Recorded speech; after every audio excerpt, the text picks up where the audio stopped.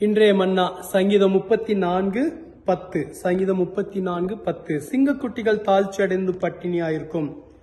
கர்த்தரை தேடுகிறவர்களுக்கோ ஒரு நன்மையும் குறைவுபடாது. ஒரு நன்மையும் குறைவுபடாதபடி கர்த்தர் நம்மளை ஆசீர்வதிக்க வல்லவர். இந்த வசனம் சொல்லுகிறது சிங்கக்குட்டிகள் தாழ்ச்சி அடைந்து பட்டினியா இருக்கும் ஒரு வலிமை மிகுந்த எளிதில் வேட்டையாடக்கூடிய ஒரு மிருகத்துக்கே குறைவு இருக்குமா ஆனால் கர்த்தரை தேடுகிறவர்களுக்கோ ஒரு நன்மையும் குறைவுபடாது. நீங்கள் கர்த்தரை தேடுகிறபடினால் சகலவித நன்மையினாலும் உங்களை திருப்திப்படுத்த அவர் வல்லவர். சகலவித நன்மையினாலும் உங்களை ஆசீர்வதிக்க வல்லவராயிருக்கிறார் கர்த்தரை தேடுகிற உங்களுக்கு ஒரு நன்மையும் குறைவுபடாது. ஜெபிக்கலாமா? தகப்பனே அநேக முறை இந்த வார்த்தையை கொண்டு எங்களோடு நீர் பேசியிருக்கிறீர்.